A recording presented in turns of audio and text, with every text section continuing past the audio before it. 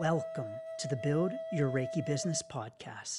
I'm Christian of Standing Stones Healing, founder of the Reiki Business Collective and creator of the Build Your Reiki Business program, sending blessings and best wishes to your Reiki business.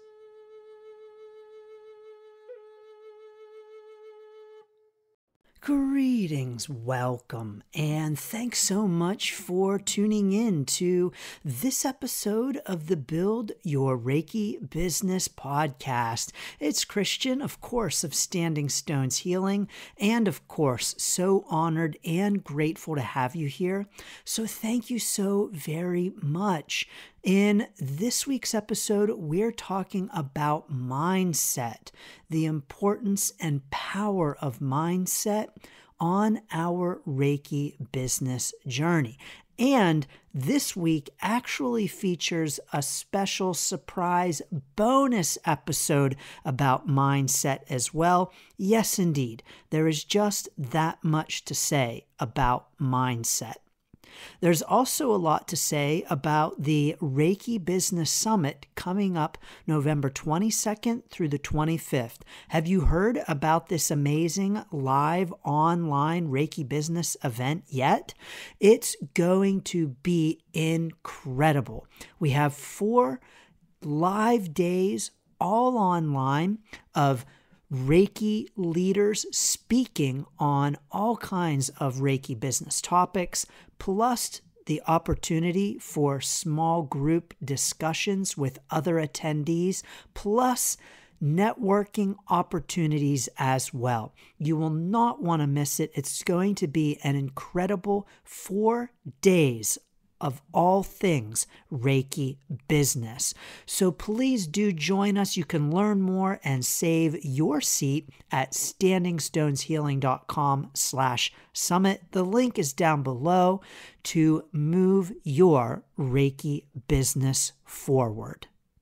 So, mindset is really one of the most important things on our Reiki business journey.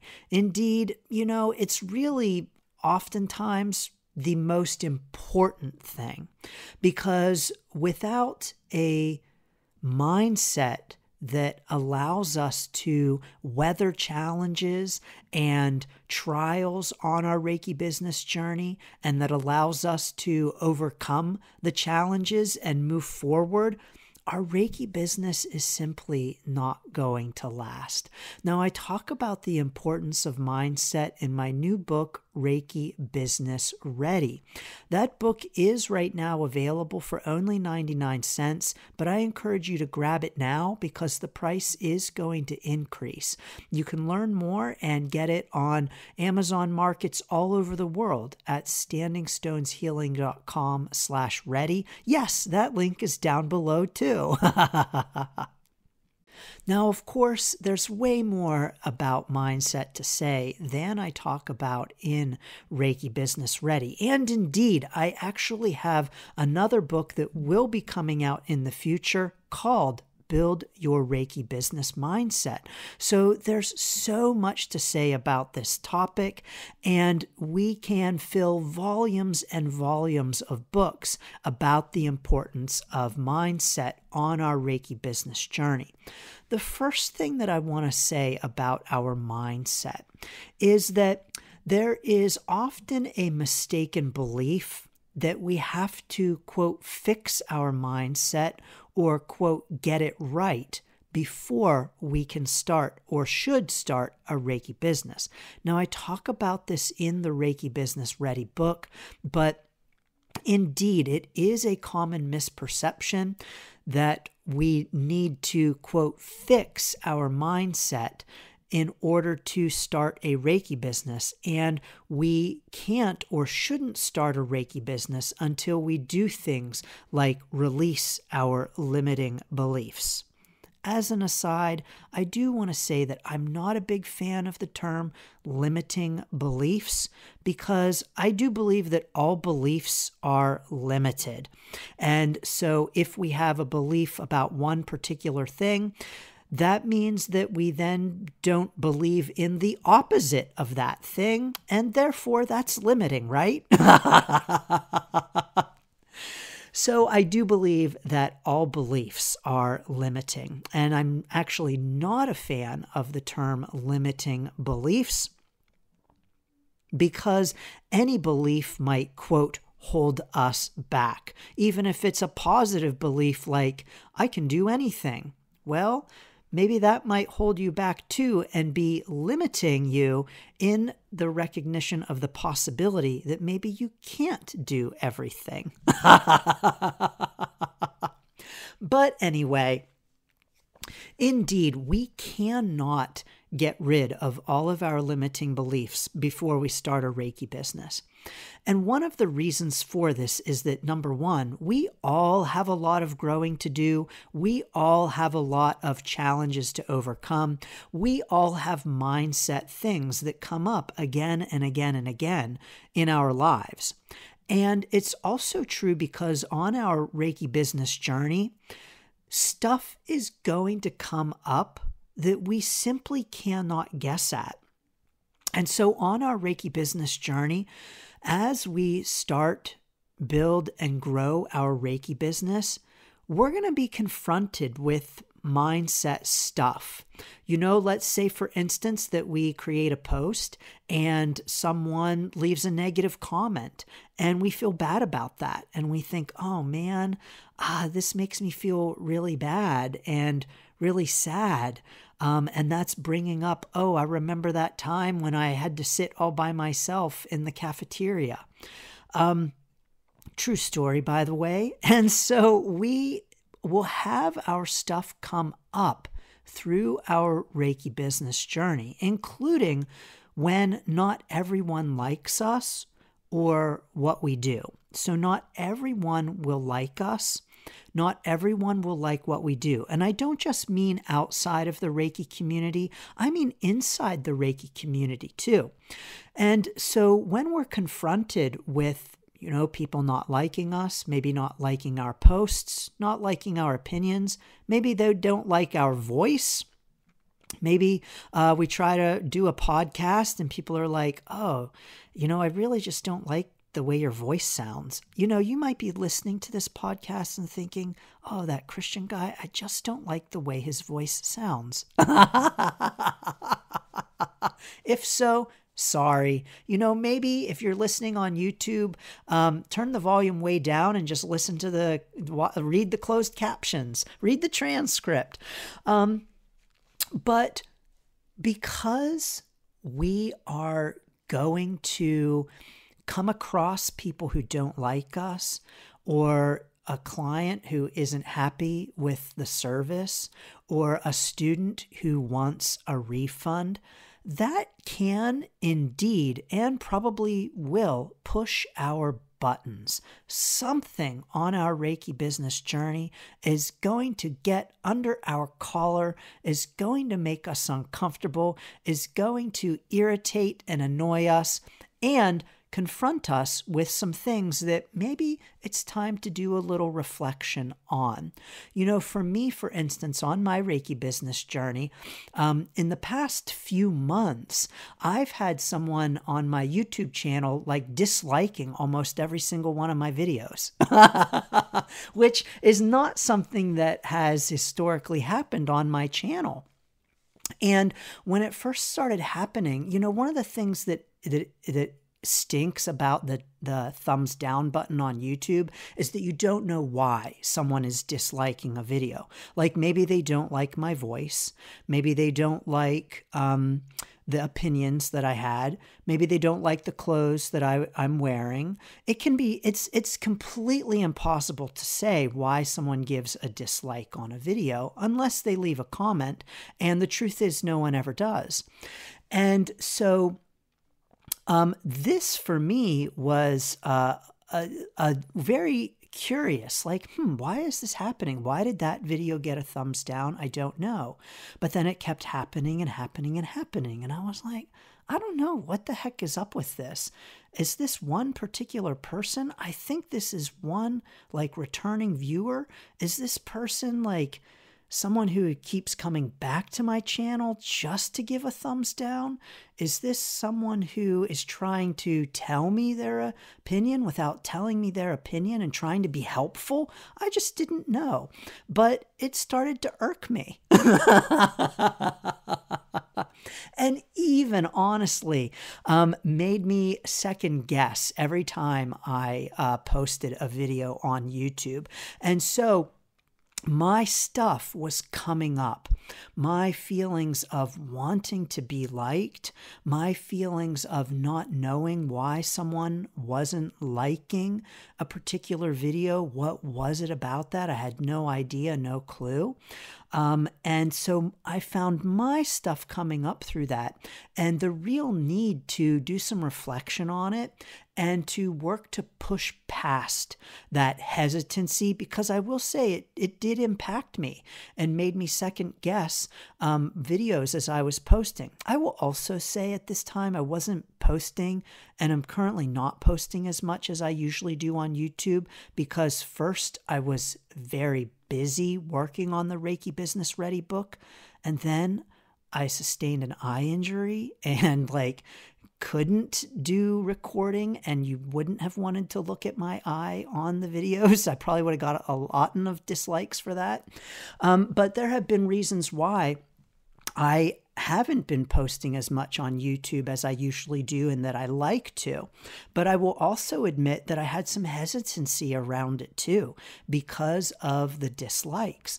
And so I'm here to tell you that even when you are an established Reiki business owner and you expect people to not like you, you expect mindset stuff to come up all of the time, it still can make you take a step back when it does. So, absolutely know that our mindset on our Reiki business is an ever unfolding journey.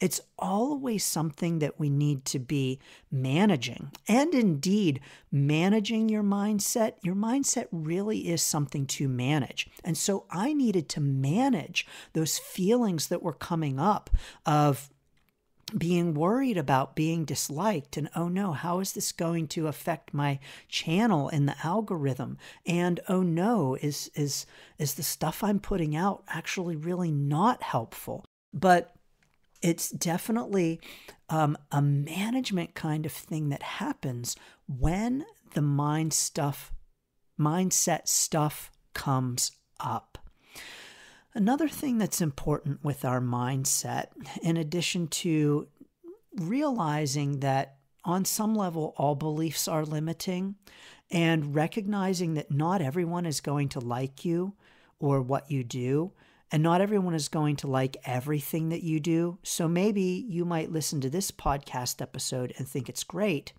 and then you might listen to another one and think it's terrible. Um, not only those things, and not only will your stuff come up, but another piece of the mindset that's important for us is to not get too comfortable. It's important for us on our Reiki business journey to resist stagnation and to resist comfort. You know, when we get to a point on our Reiki business journey where we get comfortable with what we're doing and we really feel like we're in the flow or we feel like we have um, everything um, we understand our processes, we have them down, we have our methods, and uh, things are just really working for us. You know, we we know how our sessions flow, and everything is just. I don't want to say easy in our Reiki business because there's never a point where everything is easy because challenges always come up. But indeed, we feel confident about what we're doing. When we get to this point on our Reiki business journey, it's really easy for us to sit back and get comfortable. But I want to encourage us to resist that desire to kind of kick up our heels and I don't want to say get lazy. It's not about laziness, but rather about getting too comfortable to the point of stagnation, to the point of not doing new things, not trying new things, and not experimenting. I really believe that our Reiki business journey is very much an experience of experimentation. And so, you know, we try something. Maybe let's say we're having a, a challenge uh, bringing in new clients. And so maybe we try something. Maybe we try a discount or maybe we try advertising in a new way, or maybe we try offering um, uh, referral gifts to those who refer, clients who refer their friends to be our clients. With that experimentation, we can try new things. We can see what works and what doesn't. Indeed, we're going to have a lot of things that don't work. So, indeed, we are going to do a lot of experimentation in our Reiki business that just simply does not pan out in the way that we might like it to, and that just simply doesn't yield the results that we might like.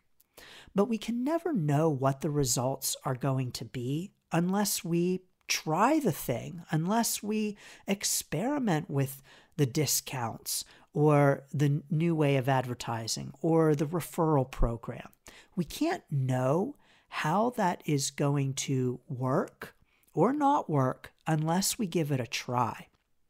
And if we bring this spirit of experimentation to our Reiki business journey, then when things don't work out, and I say when, not if, because absolutely we all will always have experiments in our Reiki business that don't work or that don't work in the way that we might like them to. When that happens, we can then view it from the standpoint of one of growth and one of um, learning and one of expansion. You know, the scientific method has done a lot of great things for our society. and it can do a lot of great things for our Reiki business too. And so, if we bring that spirit of experimentation to our Reiki business, that mindset of, I'm going to try this out. I'm not quite sure how this is going to work. I'm open to it not working, and let's see how it goes. If we can bring that mindset to our Reiki business, then we are going to be much better prepared to weather the challenges and to bounce back and have resilience from the things that don't work out well. And we are better able to navigate all of the rocks on our Reiki business path. And so that resisting of the stagnation is going to allow us to move forward with our Reiki business with new and different things. And we never know. We might try something new in our Reiki business and find out that, hmm, I really like that. That was cool. Let's do more of that. Or, ooh, I don't think I'm going to do that again. but we don't know if we don't try. And so, this mindset piece, I'll talk more about it in the bonus episode uh, this week coming out on Thursday. Um, I'll talk more about it then. But this kind of mindset that resists stagnation, looks at things as experiments, constantly tries new things, recognizes that not everyone is going to like us, and recognizes that our own stuff will come up, our own need for healing and reflection will come up on our Reiki business journey is indeed a growth mindset. I talk about the growth mindset in the Reiki Business Ready book, and I'll talk about the growth mindset and exactly what that means in the bonus episode this week on mindset. But this is the kind of mindset that is really going to help us to move forward with our Reiki business. And this mindset piece really is essential to being a successful Reiki business owner. I do believe it's really the most important thing. I mean, aside from knowing Reiki, of course, you know, we can't have a Reiki business if we don't know Reiki. I mean, yeah, well, technically, we kind of could. We can pretend. Let's not do that. of course not. I do not advocate that. Um, but uh, that growth mindset then is just absolutely essential to weathering the storms on our Reiki business journey. I'll tell you all about a recent storm on my Reiki business journey on this week's bonus episode. So, what are your tips for Reiki business mindset stuff? What do you think about having a mindset for Reiki business? What are some positive attributes, some things that you focus on for your Reiki business mindset. If you are on YouTube, drop it down below for us in the comments. Let us know. Of course, you're welcome to leave a comment if you are tuning in on your podcast platform as well. And please, as always, join us in the Reiki Business Collective Facebook group and tell us all about it at facebook.com slash groups slash Reiki Biz. And of course, as always, I'm sending lots of blessings and best wishes to your Reiki business, and I'm sending lots of blessings and best wishes to your Reiki business mindset. Thanks for tuning in to the Build Your Reiki Business podcast. Please like, share, subscribe, and send to a friend. Learn more about the Build Your Reiki Business program at standingstoneshealing.com slash build, sending blessings and best wishes to your Reiki business.